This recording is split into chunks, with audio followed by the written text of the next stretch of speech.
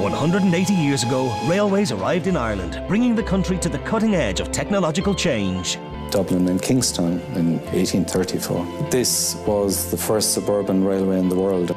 But the advent of the motor car and the Irish Civil War would change all that.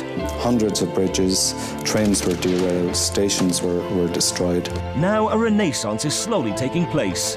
A new three-part series, 21st Century Railway, starts Monday at 8.30 on RTE 1.